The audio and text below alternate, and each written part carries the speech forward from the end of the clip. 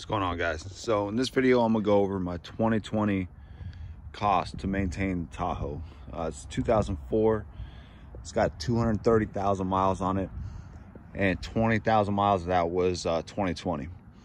So even with the coronavirus and all the other stuff, we end up uh, still traveling and for work, we had to still move around. So 20,000 miles, uh, it went from coast to coast and some of this is just basic maintenance and some of this is wear items that uh that just basically you know it was time to change anyway. So 230,000 miles vehicle's almost 17 years old. And I like to write everything down that I have to put into it um, just just to keep track of the money I spend on it. So to start with uh, the rear brakes. So the rear brakes is just a maintenance item. Um, it was about time um, and in the years that I've owned this, I've never had to change the rear brakes. So I had to do rotors and pads. It was $140 total. And I did the maintenance myself. So all the maintenance I've done to this, I did myself. So I did save quite a bit of money, uh, not paying a shop to do the stuff. So first thing was the brakes. That was $140. Second was the battery. And when I had to replace the battery, I wasn't even mad. Um, it was it was probably about five years old. And then one day I came out and it was just dead. So easy fix, $100. Um, next was the tie rods, the inner and outer, the pitman arm, the sway bar end links, and pretty much a lot of the front end stuff. And those are those are key items that wear out on the the Chevys, the Suburbans, the Tahoes, the the Silverados, and it was time to change those out. So I've always run bigger tires. I've had the the lift on it since pretty much I bought it. So almost eight years. And the last tires I had on here were 35s. Uh, they were like 34.8 or whatever when you measured them. So the tie rods were pretty beat up. The pitman arms, there's just a lot of noise and the front end was very sloppy. So the inner and outers, um, they were 40 bucks each. So that's that's uh, four per side or two per side. And then the pitman arms were $80.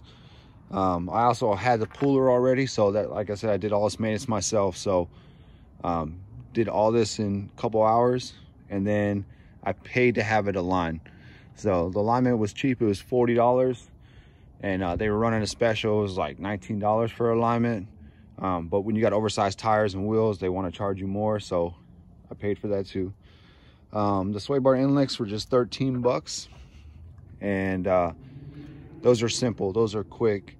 I mean, literally it's, it's one nut, the bolt flies up, and then swap it out, swap out the bushings.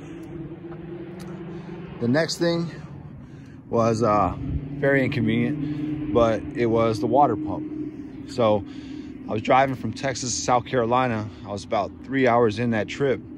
And all of a sudden, like I noticed that there was water leaking um, on the bottom and it was still running the same normal operating temp but when I got gas, I could see the water just pouring out.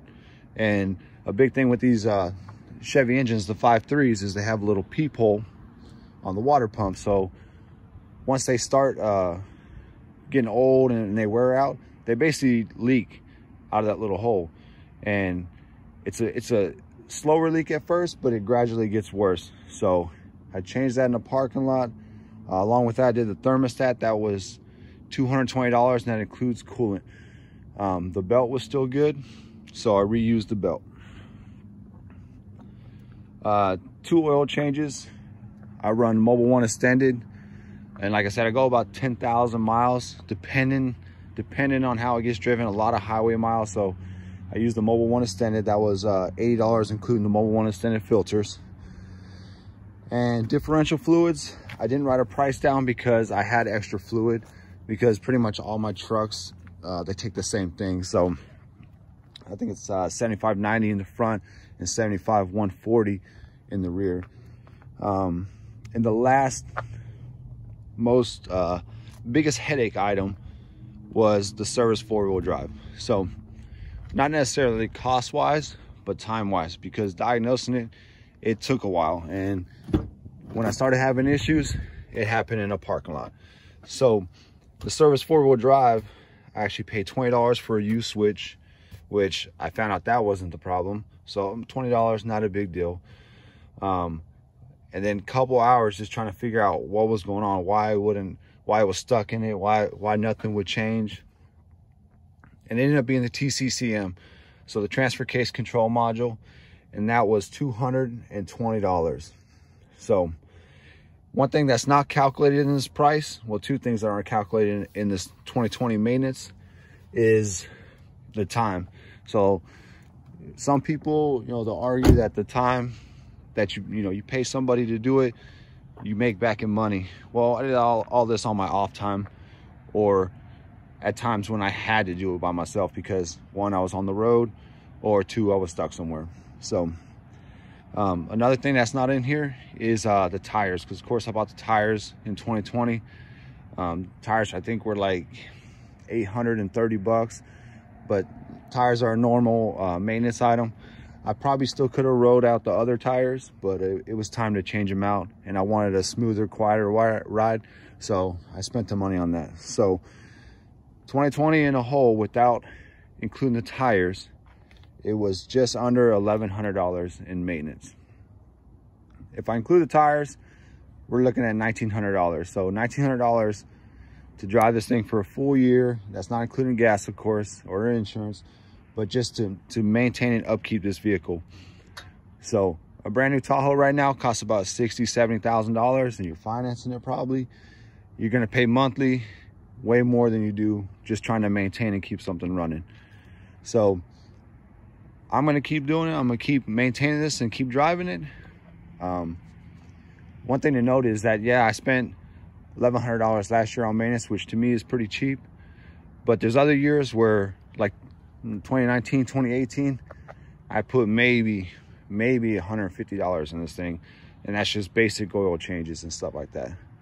So, like I said, this won't be everybody's vehicle, but this is how much I spent in 2020. Um, if you if you got a Tahoe, Suburban, Silverado, let me know some of the items you just changed actually in 2021.